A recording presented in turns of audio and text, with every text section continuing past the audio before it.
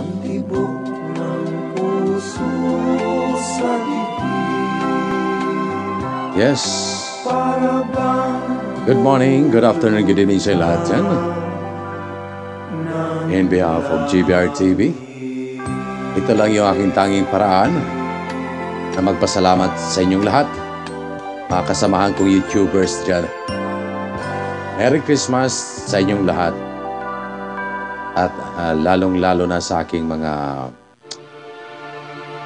ah 2,380 na mga subscribers. Maraming maraming salamat. Kung hindi po dahil sa inyo, wala po ang GVR TV. Wala sa puso ng iyong lingkod, ako ay nagpapasalamat sa inyong walang sawang suporta dito sa GBR TV. Ganun pa man, sa araw ng Pasko, ito po si GVR bumabati sa inyo ng maligayang Pasko sa inyong lahat. And of course, advanced Happy New Year na rin sa lahat ng mga supporters, followers, and of course sa aking pinakamamahal na 2,380 na mga subscribers. Maraming maraming salamat po at sa lahat ng aking mga GBR members. Salamat sa iyong pagtiwala sa GBR TV. Ito na lang po ang tanging paraan para mabati ko kayong lahat. Hindi po na po kayo isa-isahin kasi masyado nang mahaba.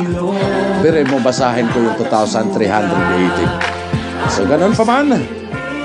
Ako pa rin nagpapasalamat sa inyong lahat at sa lahat ng aking mga kaibigan, kamag-anak, Facebook friends. Maraming maraming salamat sa inyong lahat dyan sa inyong walang sawa ding suporta at pag-subscribe sa GBR TV. Maraming salamat!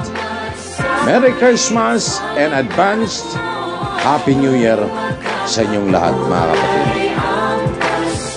Ito lang yung po po, first uh, part 1 pa lang po ating greetings sa ating mga kababayan. Uh, hindi lang tayo dito nagtatapos lalong-lalo na sa lahat ng mga small YouTubers, kaibigan man uh, o hindi, nagsusupport man o hindi, um, binabati ko rin kayo na isang maligayang Pasko at advanced Happy New Year. Uh, pasalamat tayo kahit sa mayroon tayong hinahanap na problema sa buong mundo, ito, narating pa rin natin ang Pasko taon 2020. Ulitin ko, ito po si GBR TV nagsasabing maligayang Pasko sa ating lahat. Mabuhay ang lahat ng mga YouTubers. I love you all!